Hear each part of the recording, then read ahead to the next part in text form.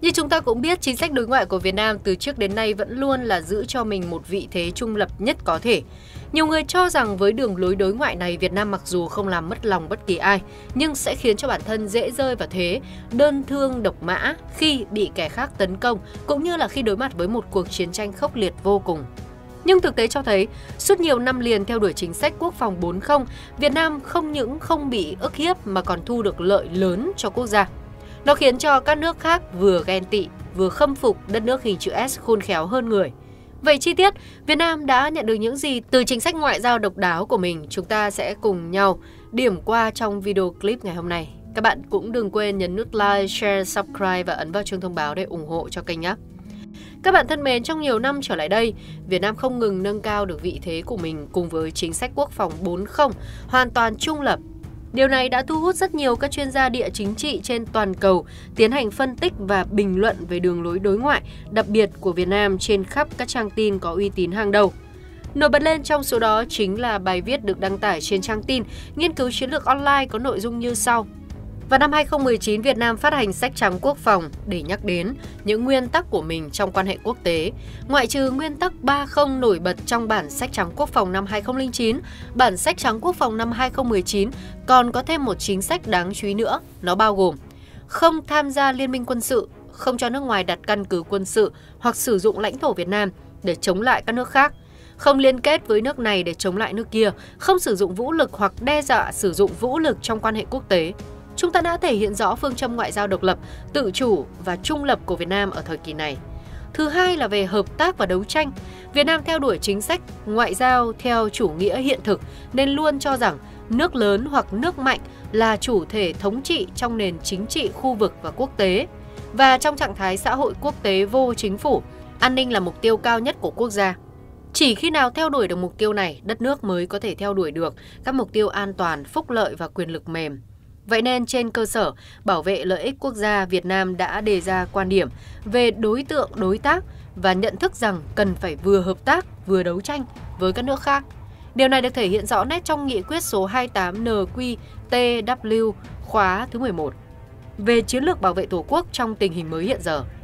Thứ ba là duy trì sự cân bằng giữa các nước. Năm 2013, Ban chấp hành Trung ương Đảng Cộng sản Việt Nam đã ban hành nghị quyết số 28 NQTW về chiến lược bảo vệ Tổ quốc trong tình hình mới. Trong đó Việt Nam xác định rõ định hướng duy trì thế cân bằng chiến lược với các nước lớn, nghĩa là cần tạo ra lợi ích chiến lược đan xen giữa Việt Nam với các cường quốc và các đối tác chiến lược, các nước láng giềng và các nước trong khu vực thông qua hoạt động tăng cường hợp tác, hạn chế xung đột đối đầu, cô lập và phụ thuộc. Qua đó Việt Nam hy vọng rằng mình có thể duy trì sự cân bằng chiến lược giữa Trung Quốc và Hoa Kỳ. Đúng với những định hướng được đưa ra ngay từ đầu, Việt Nam đã luôn tìm cách cân bằng ảnh hưởng giữa các cường quốc nói chung và hai nước Mỹ Trung nói riêng. Ở thời điểm hiện tại, cả hai ông lớn này đều là đối tác chiến lược toàn diện của Việt Nam và đều được Việt Nam đối xử một cách rất trọng thị. Đầu tiên là Trung Quốc. Việt Nam không ngừng mở rộng mối quan hệ giao thương giữa hai nước suốt nhiều thập kỷ liền. Kết quả là Đến năm 2022, Việt Nam đã trở thành đối tác thương mại lớn thứ tư của Trung Quốc trên thế giới. Tổng kim ngạch thương mại hai chiều giữa hai nước Việt Trung đạt 175 tỷ đô la, chiếm 1 phần tư tổng kim ngạch thương mại giữa Trung Quốc và ASEAN. Thêm vào đó, Trung Quốc tiếp tục là thị trường nhập khẩu lớn nhất của Việt Nam với tỷ lệ nhập siêu cao vô cùng. Kim ngạch xuất khẩu hàng hóa từ Việt Nam sang Trung Quốc cũng có những tín hiệu tích cực khi giá trị được cải thiện dần qua các năm. Việt Nam nhờ vậy mà trở thành đối tác thương mại lớn nhất của Trung Quốc ở Đông Nam Á và là quốc gia đầu mối quan trọng để Hoa Lục thúc đẩy sáng kiến vành đai và con đường. Qua đó có thể thấy, Việt Nam đã được hưởng lợi ích lớn về kinh tế nhờ việc cư xử tinh tế với Trung Quốc, chứ không ngả hẳn sang Hoa Kỳ. Theo đó, Việt Nam đã thu được khoản ngoại tệ rất khủng từ các thương vụ mua bán và đầu tư kinh doanh lớn cùng với Trung Quốc hùng cường.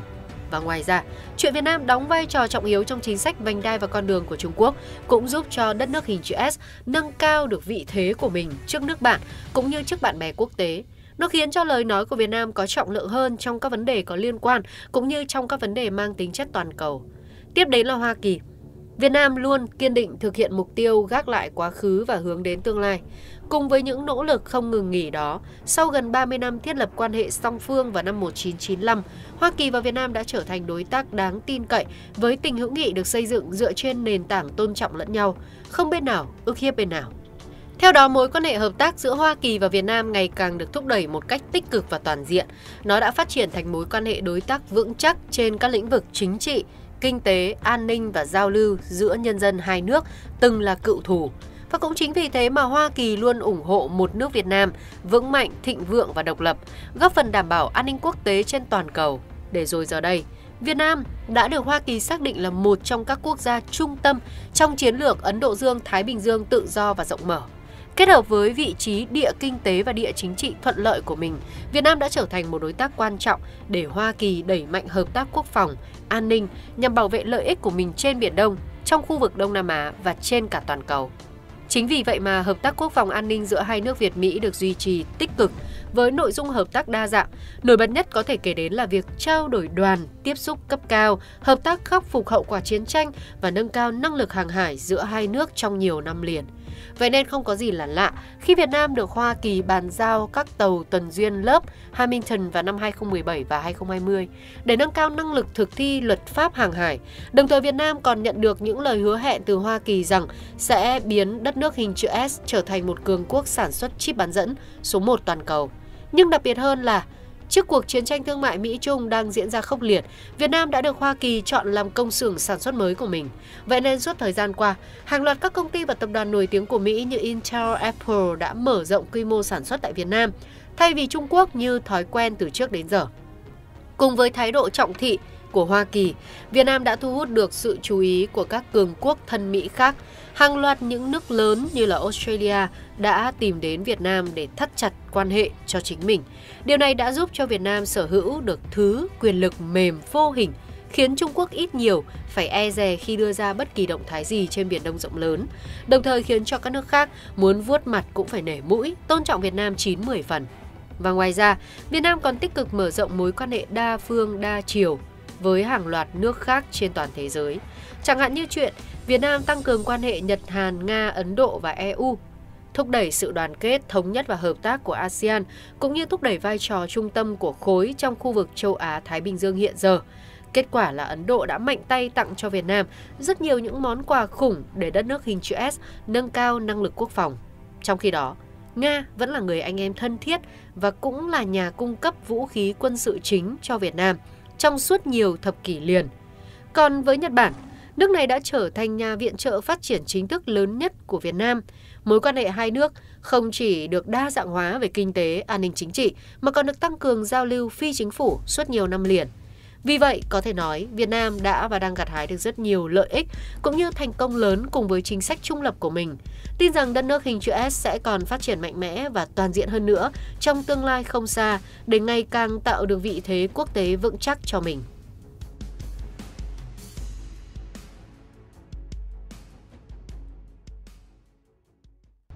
Mới đây, Viện Nghiên cứu Hòa bình Quốc tế Stockholm của Thụy Điển đã tung ra bản báo cáo mới nhất về thị trường mua bán vũ khí thế giới giai đoạn 2019-2023, trong đó các số liệu của Việt Nam là rất đáng chú ý.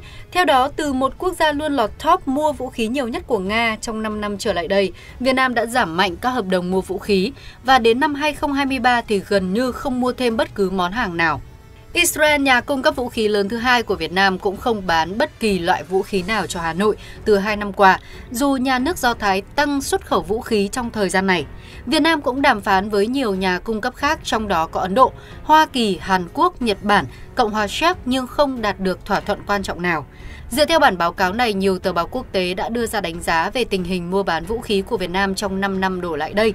Trong đó, tờ Reuters có bài viết với tựa đề Nhập khẩu vũ khí của Việt Nam giảm đến mức nhỏ giọt bất chấp căng thẳng khu vực.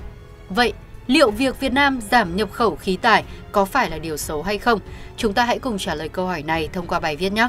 Bắt đầu ngay thôi nào. Nhận định về tình hình hiện tại của quân đội Việt Nam từ Reuters viết, dù có ngân sách hơn 1 tỷ đô la hàng năm để mua vũ khí, thiết bị quốc phòng, Việt Nam lại không có bất kỳ hợp đồng lớn nào trong năm 2023 theo dữ liệu của Viện Nghiên cứu Hòa bình Quốc tế Stockholm. Vụ chuyển giao lớn duy nhất trong năm ngoái là Ấn Độ tặng một tàu hộ tống cũ cho Việt Nam. Do vậy, năm 2023 trở thành năm mà nhập khẩu trang bị quân sự của Việt Nam ở mức thấp nhất kể từ năm 2017, không tính năm 2020 khi dịch COVID-19 hoành hành dẫn đến chuyên gia Reuters cho rằng trong bối cảnh căng thẳng gia tăng giữa Đài Loan và Trung Quốc, cùng với các vụ va chạm thường xuyên ở Biển Đông giữa tàu Trung Quốc và tàu các nước khác trong khu vực, Việt Nam đang thiếu những vũ khí đủ hiện đại để bảo vệ bản thân trong một cuộc xung đột quy mô lớn. Ông Cam Taylor, chuyên gia cấp cao về an ninh Việt Nam tại Học viện Quốc phòng Úc cho biết, sự tranh lệch về sức mạnh quân sự thông thường sẽ gia tăng theo hướng có lợi cho Trung Quốc nếu Việt Nam tiếp tục kéo dài thời gian trì hoãn nhập khẩu vũ khí hiện đại. Thayer và các chuyên gia khác cho biết, Việt Nam chủ yếu cần tàu chiến, máy bay chiến đấu và máy bay không người lái. Theo báo cáo năm 2019 của Bộ Quốc phòng, quân đội Việt Nam đang vận hành các hệ thống phòng không được nhập khẩu từ Nga và Israel. Một số hệ thống trong đó đã được giới thiệu lần đầu tiên từ cách đây hơn 30 năm, tức là đã quá lạc hậu cần phải được thay mới. Việt Nam đang cố gắng cải thiện ngành công nghiệp quốc phòng của mình, nhưng vẫn không thể sản xuất được vũ khí cỡ lớn như máy bay hay tàu chiến. Do vậy, nhập khẩu vẫn là con đường duy nhất lúc này. Ông Siemens. Guy German, nhà nghiên cứu cấp cao tại Viện Nghiên cứu Hòa bình Quốc tế Stockholm thì cho biết việc thiếu các giao dịch vũ khí có thể là do còn có nhiều khó khăn trong quá trình đàm phán, trong khi Việt Nam phải xem xét các đề xuất khác nhau. Theo dữ liệu Nga, nhà cung cấp vũ khí chính cho Việt Nam trong nhiều thập niên đã giảm đáng kể số lượng vũ khí xuất khẩu. Hà Nội cũng không thể thanh toán hợp đồng mua vũ khí với Nga vì sẽ bị xem là vi phạm các lệnh trừng phạt quốc tế. Việt Nam đã tổ chức triển lãm quốc phòng quốc tế đầu tiên năm 2022 và công khai tuyên tuyên bố rằng họ muốn đa dạng hóa nguồn cung từ Moscow. Nhưng các cuộc đàm phán với những nhà cung cấp tiềm năng khác vẫn chưa mang lại kết quả rõ ràng. Việt Nam tìm tới các đối tác mới nổi bao gồm Ấn Độ, Hoa Kỳ, Hàn Quốc, Nhật Bản và Cộng hòa Séc, nhưng không có thỏa thuận lớn nào được ký kết. Trong khi đó, Việt Nam đang dựa vào ngoại giao để duy trì quan hệ tốt đẹp với các siêu cường nhưng các chuyên gia vẫn cho rằng nếu không thể tìm kiếm được một bản hợp đồng chuyển giao vũ khí lớn, Việt Nam sẽ rất dễ bị tổn thương nếu xung đột nổ ra, nhất là trên Biển Đông. Đó là toàn bộ bài viết trên trang Reuters. Tóm lại là các chuyên gia đều cho rằng 5 năm qua, Việt Nam đã giảm đáng kể nhập khẩu vũ khí hiện đại. Cho đến năm ngoái thì không hề có một hợp đồng nào đáng kể được ký kết và đây là hồi chuông báo động vì tình hình Biển Đông hiện nay rất căng thẳng, xung đột có thể nổ ra bất cứ lúc nào. Việt Nam cần vũ khí để tự bảo vệ mình, không thể chỉ dựa vào quan hệ ngoại giao với các cường quốc được. Đầu tiên phải công nhận rằng đây là tình hình thực tế của quốc phòng Việt Nam trong nhiều năm qua. Trước đây Việt Nam là một trong 20 quốc gia mua vũ khí lớn nhất thế giới. Ngân sách nhập khẩu vũ khí hàng năm của ta ước tính khoảng 1 tỷ đô la và không ngừng tăng lên qua các năm. Hầu hết số tiền đó được chuyển đến Nga, quốc gia trong nhiều thập kỷ là nhà cung cấp vũ khí và hệ thống phòng thủ chính của Việt Nam. Điều đó khiến Việt Nam trở thành một trong những khách hàng mua vũ khí hàng đầu của Nga. Tuy nhiên vài năm trở lại đây thì điều này đã thay đổi. Việt Nam tìm kiếm nhiều đối tác tiềm năng hơn để đa dạng hóa nguồn cung. Việc này đòi hỏi một quá trình chuẩn bị kỹ lưỡng, vì quân đội Việt Nam đã quá quen thuộc với việc vận hành dòng vũ khí hệ Liên Xô Nga.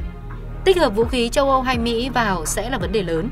Ngoài ra thì một lý do nữa khiến cho Việt Nam không chốt hợp đồng lớn nào trong 2 năm qua có thể là do các nhà lãnh đạo đang muốn quan sát tình hình thế giới. Nhất là từ cuộc chiến Nga-Ukraine, việc mua sắm vũ khí của thế giới nói chung và của cả Việt Nam nói riêng sẽ có những thay đổi lớn sau cuộc xung đột này. Các nước sẽ được biết món vũ khí nào là cần thiết cho cuộc chiến dài hơi, món nào đã cũ, lỗi thời và món nào không thực sự mang lại hiệu quả cao. Rất có thể có những thứ mà trước đây quân đội ta luôn ao ước có được, nhưng nay nhìn vào thực tế thì chúng cũng không đáng để đầu tư. Ngược lại, có những món mà trước đây ta đánh giá chúng không cao, nhưng nay chúng lại có màn thể hiện ngoài sức mong đợi trên chiến trường ở Ukraine. Một cuộc chiến tranh thực tế như ở Ukraine sẽ cung cấp cho các nhà hoạch định của ta rất nhiều thông tin để hiện đại hóa quân đội theo đường chính xác. Dựa vào những thông tin đó, việc mua bán vũ khí của ta sẽ hiệu quả hơn do tập trung đúng nguồn lực cho những món đã chứng tỏ được giá trị trong thực chiến, chứ không cần mua sắm giản trải. Chúng ta đã có một quãng thời gian hơn chục năm đầu tư hiện đại hóa quân sự theo những kinh nghiệm cũ của chiến tranh Iraq, Afghanistan, nhưng giờ đây Thực tế, chiến tranh Ukraine đang phủ định nhiều kinh nghiệm của hai cuộc chiến trước, cho nên con đường hiện đại hóa quân sự của Việt Nam cũng cần có thời gian để thay đổi thích ứng. Nhìn theo góc độ này thì việc nhập khẩu vũ khí của Việt Nam năm 2023 giảm về không cũng không hẳn là điều gì đáng lo ngại. Đây chỉ là một quãng thời gian chậm lại để tính toán kỹ càng hơn trong quá trình hiện đại hóa quân đội Việt Nam mà thôi. Ngoài ra, việc nhập khẩu vũ khí nước ngoài cũng là để mở ra cơ hội cho các nhà sản xuất vũ khí trong nước thể hiện mình. Trước đây ngành công nghiệp quốc phòng của Việt Nam chủ yếu sản xuất những phương tiện vũ trang và vũ khí hạng nhẹ, chẳng hạn như là tên lửa chống tăng, súng phóng lựu và súng máy. Nay Việt Nam đã bắt đầu phát triển nhiều hệ thống công nghệ cao hơn, bao gồm máy bay không người lái, radar, tên lửa chống hạm, thường là hợp tác với các công ty nước ngoài.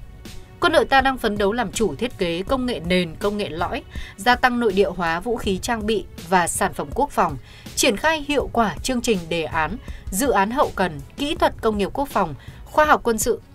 Đây là những vấn đề rất mới, rất khó, bởi vậy sẽ cần sự quyết tâm cao. Việc nội địa hóa vũ khí là con đường mà ta cần theo đuổi về lâu về dài.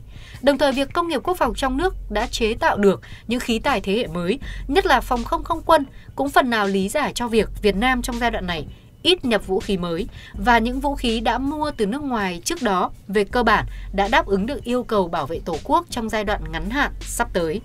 Cuối cùng chúng ta cũng không cần phải quá lo lắng bởi vì thông tin Việt Nam giảm nhập vũ khí bởi vì ít mà chất đẳng cấp mới là điều cần phải bàn. Tuy số lượng thỏa thuận mua sắm mới ít nhưng sự thật thú vị là các vũ khí Việt Nam đặt mua đều là những loại hiện đại nhất, được các chuyên gia quân sự thế giới đánh giá cao về mức độ hiện đại với những đặc tính kỹ thuật, chiến thuật vượt trội so với vũ khí cùng loại. Ví dụ như hợp đồng mua xe tăng T-90S mới của Nga, hợp đồng mua tổ hợp tên lửa phòng không Spider của Israel hay là một số loại radar cảnh giới nhìn vòng tiên tiến như là LM2288AZ Star. Vũ khí mua sắm mới được phân bố đều cho tất cả quân binh chủng thay vì chỉ tập trung cho hải quân và phòng không không quân như trước đó. Xu hướng có thể thấy rõ là lục quân Việt Nam bắt đầu được trang bị một số vũ khí mới, thực sự hiện đại. Tất nhiên là với số lượng vẫn còn ít. Đó là những suy nghĩ của mình về chuyện nhập khẩu vũ khí của Việt Nam trong vài năm trở lại đây. Và liệu bạn có còn ý kiến nào khác không? Hãy để lại bên dưới phần bình luận nhé.